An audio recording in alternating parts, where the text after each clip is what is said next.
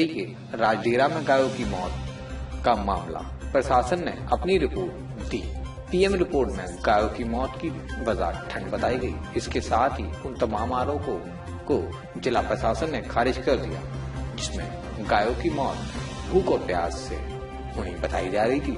यह रिपोर्ट तीन पशु चिकित्सकों के विशेष टीम ने तैयार की।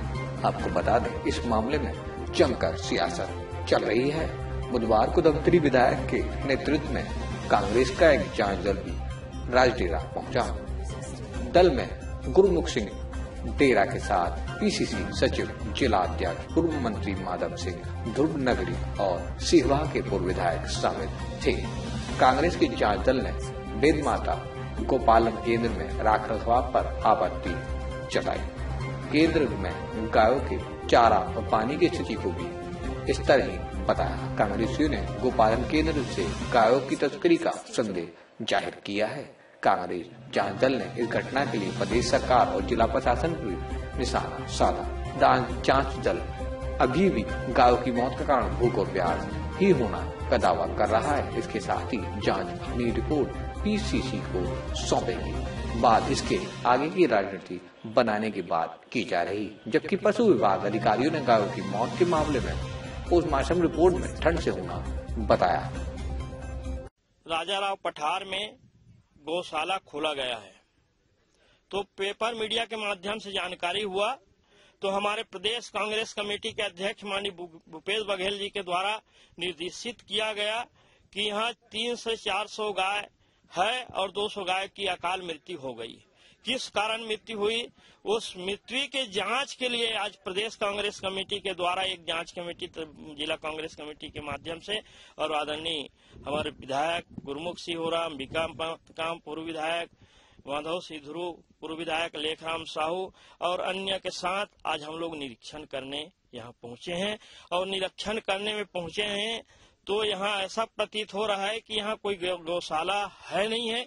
अवैधानिक रूप से यहाँ गायों को रखा गया है। मैं पूछना चाहता हूँ इस प्रशासन से, क्या गौशाला चलाने वाला इस गाँव में गौशाला के लिए परमिशन लिया? पता चला यहाँ कोई परमिशन नहीं है।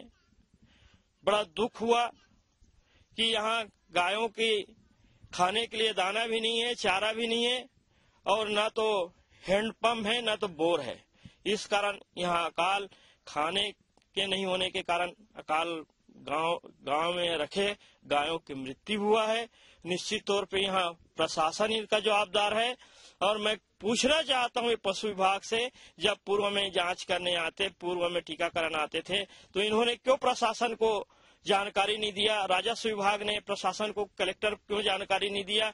वन विभाग क्यों कलेक्टर को जानकारी नहीं दिया? ये सारे विभाग इनमें दोषी है और साथ साथ यहाँ के जो मंत्रालय के अधिकारी से लेकर पशु विभाग भी और पशु विभाग के मंत्री भी दोषी है।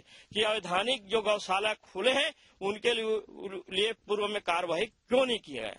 अगर पूर्व में वो कार्रवाई करते तो आज 200 गायों की मृत्यु अकाल नहीं होती। ये बड़ा विनम्र है और मेरे को लगता है इस गौशाला के माध्यम से पशु तस्करी भी होने का संदेह लगता है जो इस ढंग से 200-400 गाय रखकर अभी तक पंजीयन नहीं कराए न अभी तक प्रशासन को नहीं बताए और गायों की अकाल मृत्यु होता रहा है। इसके लिए मैं मानता हूँ कि प्रशासन और यहाँ के मंत्री दोषी है। पीएम रिपोर्ट में जो अभी मृत्यु का जो कारण है वो ठंड की वजह से हुई है। नहीं हमारे पशु चिकित्सक ने जब भी उसको टीकाकरण के लिए बुलाया गया है और अपनी सेवाएँ जब भी ज़रूरत पड़ी दिया है ऐसी कोई लापरवाही नहीं हुई है। सर ये ये गौशाला में कितने गाय हैं? अभी वर्तमान में 159 है। सिचुएशन कैसी गाय होगी गाय की स्थिति बहुत अच्छी है सभी स्वस्थ है।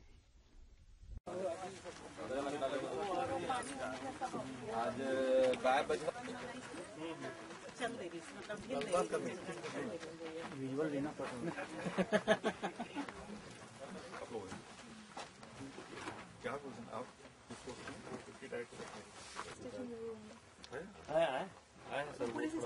पुलिस स्टेशन गए कुछ रिपोर्टिंग रिपोर्ट जमा करने रिपोर्ट के लिए पुलिस स्टेशन गए थाना गए हुए हैं।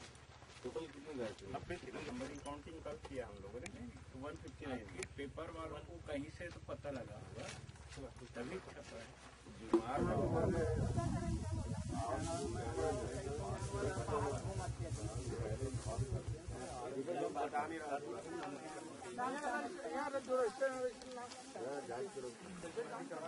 रजिस्टर्ड कितना केस है आप लोग आप लोग की जानकारी में कितना डेथ रजिस्टर्ड किया? क्योंकि इसके आंकड़े भी बड़े अलग अलग आए डेथ रजिस्टर्ड जो फ्रेश फ्रेश डेट मिले थे जिस दिन ट्वेंटी फोर्थ को तीन तो पोस्टमार्टम किया आप हाँ, तीन सौ पोस्टमार्टम एक्चुअल में डेथ कितना? जो डेथ आप लोगों ने जब गाँव वालों ने सबने मिलकर के लैंड रिकॉर्ड में सब ये लैंड रिकॉर्ड में ये तो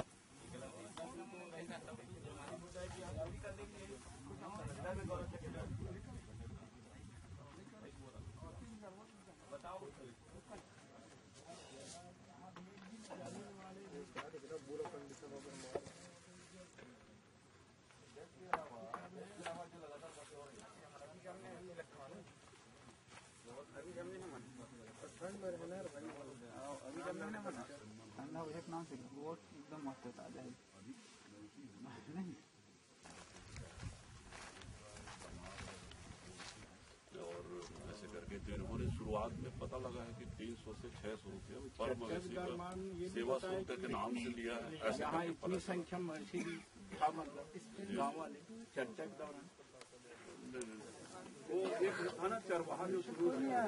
नहीं रेवेन्यू वाले और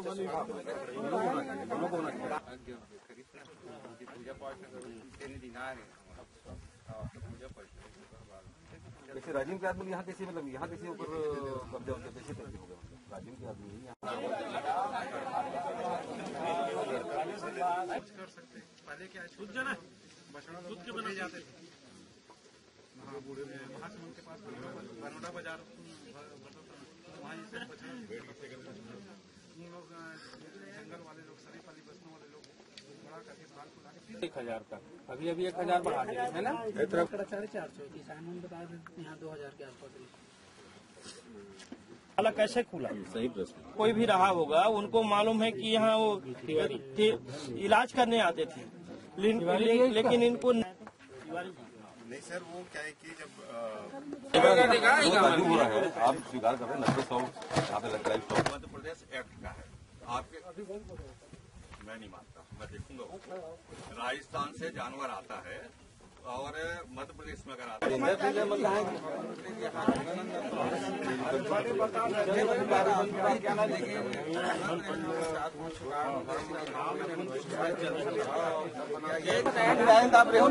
हाँ काम कर रहे हैं उससे पहले नहीं कर रहे। हैं भैया